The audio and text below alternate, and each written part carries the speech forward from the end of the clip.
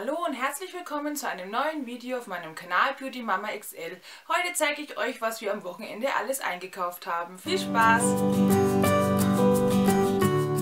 Wir waren zuerst bei DM und anschließend bei Ikea. Bei DM ist es nicht ganz so viel geworden, aber ich zeige es euch jetzt einfach mal alles auf einmal.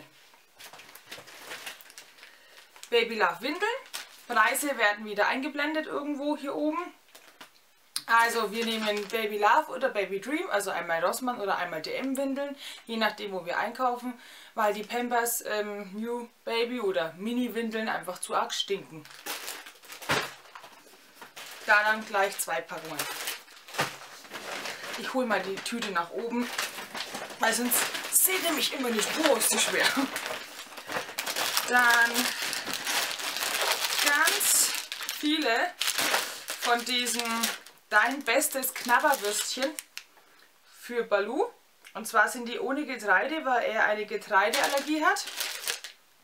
Und die sind bei unserem DM, der jetzt von uns aus entfernt, so eine halbe Stunde ungefähr entfernt ist, ähm, immer ausverkauft. Und äh, wir waren eben am Wochenende in Nürnberg und da gab es diese ganz viele. Deswegen haben wir das ganze Regal leer gekauft. Die bekommt, jetzt die bekommt er immer als Belohnung, als Leckerlis einfach. Dann meine Lieblingsseife, die Milch- und Honigseife, die vertrage ich am besten. Baby Love Wasser. Wir hatten immer das von Hip, aber jetzt probieren wir einfach mal das Baby Love Babywasser. Es ist eigentlich unnötig und man kann Wasser abkochen. Entschuldigung, man kann Wasser abkochen, aber ähm, wenn man unterwegs ist, dann nehmen wir das immer mit, zum Beispiel zu den Schwiegereltern. Dann brauchen wir dem Abkochen nicht drum tun oder das abgekochte Wasser nicht mitschleppen. Oder auch wie wir in Hannover waren im Hotel, da haben wir auch Babywasser mitgenommen. Dann sind unsere Öltücher leer gegangen. Dann nehmen wir jetzt auch die von Baby Love. Mit denen sind wir ganz zufrieden. Die sind sehr ölhaltig und die Kleine verträgt es gut. Wir wechseln aber immer ab mit Öltüchern und ähm, Feuchttüchern. Und momentan sind wir beim Austesten von diesen Hip Pflege ähm, Ultrasensitiv Feuchttüchern. Bis jetzt sind wir ganz zufrieden und da gab es eben diesen Vorteilspack.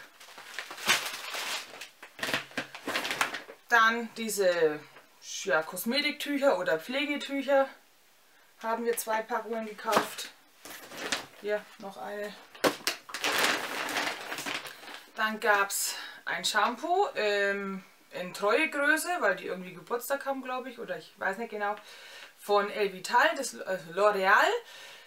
Vibralogie Haarpracht Aufbaushampoo, das vertrage ich ganz gut. Das heißt, mein Ansatz fettet nicht so schnell nach und die Spitzen sind nicht so arg trocken. Also habe ich das mir wieder nachgekauft. Dann für die Wickeltasche von Baby Love die Feuchttücher 30 Stück. Nachfüllpackung von meiner Seife. Zweimal den Frosch Flaschenreiniger. Der ist billiger als der von Nook und äh, reinigt genauso gut. Kraftvolle Entfernung von Milch- und Essensrückständen, Hypoallergen und Bioqualität seit 1986.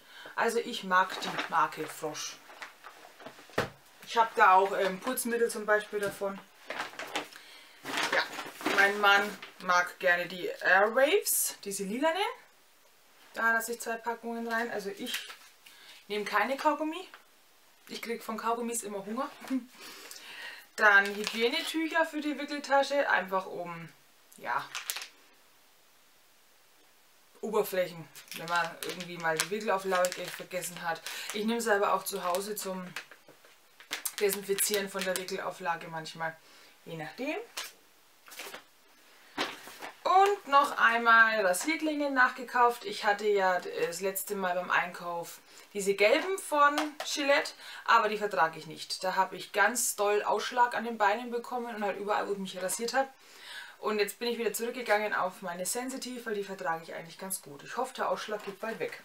Weil das juckt nämlich ganz schön.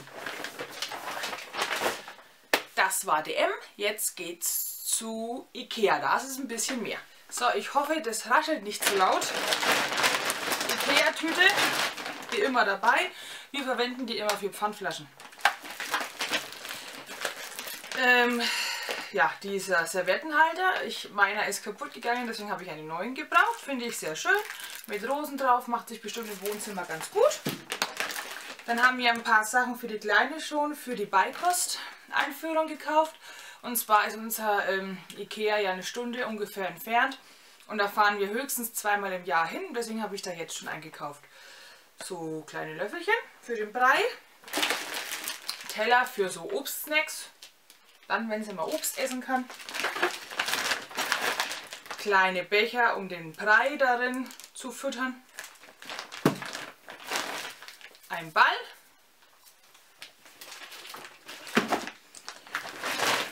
Dann einmal Geschenkpapier, das ist so eins mit einem Biber. Ja, und lustige Figuren, das ist quasi, wenn ich Geschenke für die Kinder einpacke. Also für meine Nichten und Neffen. Und eins hier mit Blumen und Ornamenten in blau-rosa für die Erwachsenengeschenke. Dann unsere gefühlte fünfte Dose. Wir haben schon ein paar verschenkt, weil unsere Verwandten jetzt auch nicht so oft zu Ikea kommen. Ja, ich glaube, mein Neffe hat schon zwei bekommen. Mein Mann hat sie schon auf der Arbeit verschenkt und ja, ich tue da jetzt die Schnullers rein von der Kleinen, weil sie hat mittlerweile so viele, auch unterschiedliche Größen und da packe ich jetzt die Schnuller rein. Eine neue Thermoskanne, weil unsere andere ist nicht mehr dicht. Dann Handtücher. Mein Mann hat sich die grünen ausgesucht. Ich orange. Kann man nichts verkehrt machen.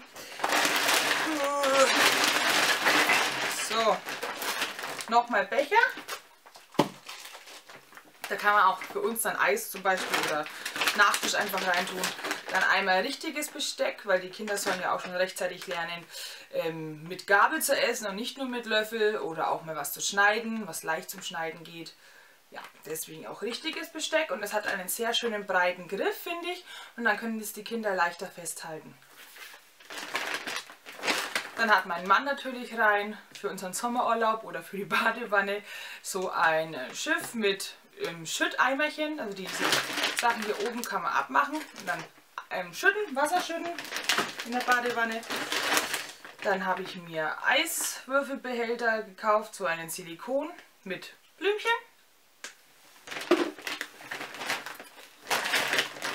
Die hat mein Mann rein. Neue Kochlöffel aus Holz. Also ich verwende die aus Holz eigentlich ganz gern.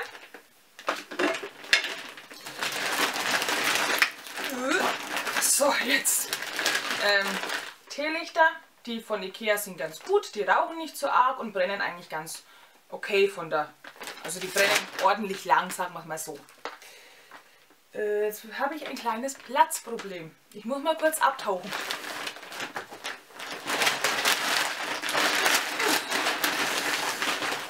So, dann habe ich zwei von diesen Einmachgläsern gekauft. Und zwar brauche ich die für ein Video ein Rezept und das ähm, normalerweise mache ich das für mich zu Hause immer in einer Tupperschüssel, aber die Tupperschüssel ist ja nicht durchsichtig, das heißt ihr könnt äh, die verschiedenen Schichten nicht sehen. Deswegen lasst euch mal überraschen, was ich für äh, euch mit euch quasi koche, weil ich werde euch das zeigen und habe extra die Gläser gekauft, damit ihr das auch schön erkennen könnt. Das wird irgendwann demnächst, wenn ich mal Zeit habe, was das wieder zu machen und das, die Kamera mit in die Küche zu nehmen, werde ich euch das dann filmen und dann kommt es auf meinem Kanal online. Seid gespannt. Es ist auf jeden Fall sehr lecker. Und gesund.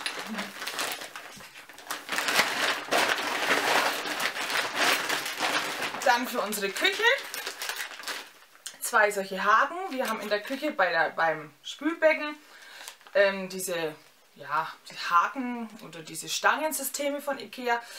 Und damit wir zum Beispiel die Flaschenbürste zum Trocknen aufhängen können, haben wir neue Haken gebraucht. Zwei Packungen. Noch ein kleiner Holzkochlöffel. Große Streichhölzer, damit man sich die Finger nicht verbrennt. Ja, genau, für diese Einmachgläser noch ähm, Dichtungsringe. Und zuletzt, nee, nicht ganz zuletzt, ein was haben wir noch diesen Kuchenglasurpinsel. Also für die, den kleinen nehme ich immer gern für Muffins, um die schön zu glasieren und den großen natürlich dann für den Kuchen. Da habe ich eigentlich dieses gleiche Set erst gekauft gehabt, glaube ich, ich das letzte Mal bei Ikea war. Hat es meiner Mama ausgeliehen und jetzt ist es irgendwie spurlos verschwunden. Also den großen habe ich noch, den kleinen aber nicht mehr, deswegen habe ich es nochmal neu mitgenommen. Kann man auch sehr schön in der Spülmaschine reinigen. Und das ist das letzte, und zwar aufladbare Batterien, weil die Batterien von unserem Telefon nämlich kaputt gegangen sind. Und die von Ikea tun es auch. Ja, das war's. Ich muss jetzt das Chaos hier wieder aufräumen. Zwei Sachen habe ich noch vergessen, und zwar einmal die Orchidee. Wie immer, wenn ich bei Ikea, Ikea bin, kaufe ich eine Orchidee. Einen von diesen tollen Blumentöpfen und diesen Hocker, den ich als Tisch verwenden werde oder auch wenn mein Mann mit ins Zimmer kommt, dann kann er sich da auch drauf setzen. Der passt gut zu unserer Wohnungseinrichtung bzw. Kinderzimmereinrichtung. So, das war's. Ich hoffe, euch hat das Video gefallen. Über Kommentare, Abos und Daumen nach oben freue ich mich natürlich immer. Das ist übrigens das erste Mal, dass ich das sage. Ich, ich, eigentlich ärgere mich immer selber über die YouTuber, die immer sagen, Daumen hoch. Jetzt habe ich selber gesagt. Macht ja nichts, ihr wisst ja, wie ich es meine. Also ich, ihr könnt mir damit eine Freude machen. Ja, äh, wir sehen uns im nächsten Video wieder. Mal schauen, was es wird. Ich habe ein paar vorgedreht, weil ich mit der Kleinen nicht, nicht immer so Zeit habe. Ja, dann wünsche ich euch noch einen schönen Tag und bis bald, meine Lieben. Tschüss!